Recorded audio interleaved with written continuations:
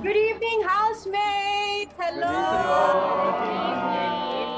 Yes, grabe, matagal-tagal na rin ang pinagsamahan yung lahat sa loob ng bahay at ilang task na rin ang inyong nalampasan. Kaya naman, Zach, sa ilang linggo niyong pagsasama sa loob ng bahay, paano mo madedescribe ang samahan yung lahat dyan? Hindi marinig.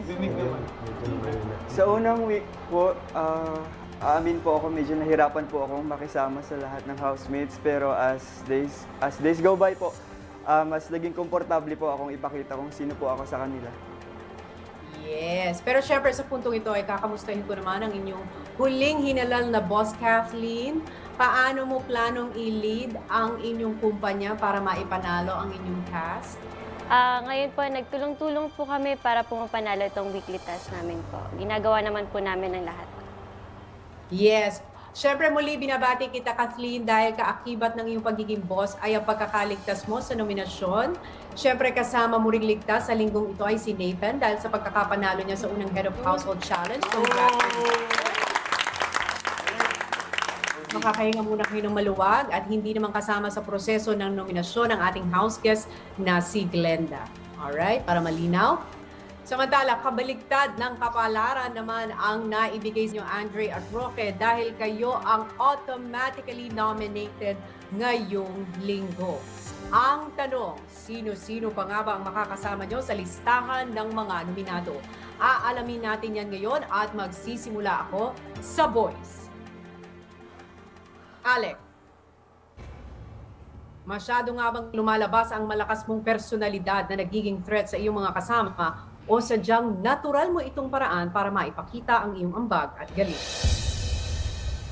Basti, kulang pa nga ba ang pagsisikap mo para mas makilala ka ng iba pang mga kasama o mas feel mo sila naman ang lumapit and make an effort to get to know you?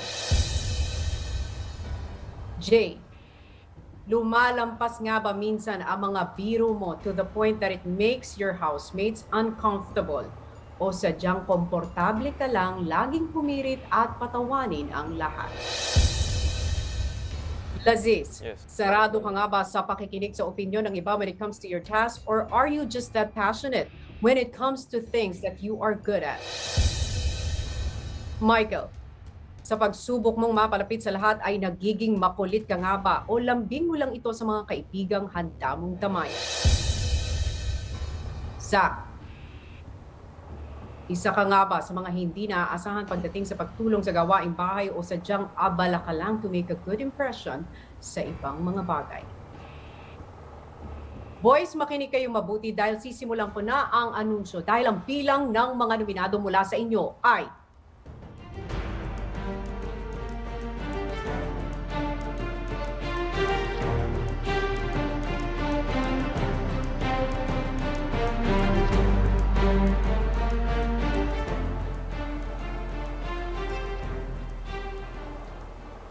Wala.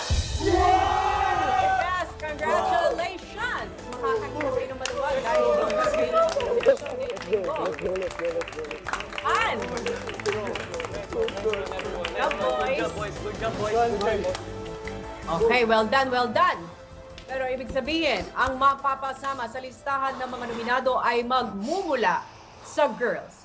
At ang pangalan ng susunod na nominado ay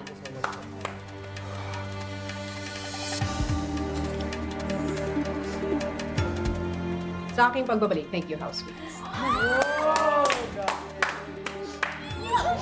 Yo, nice one, boys.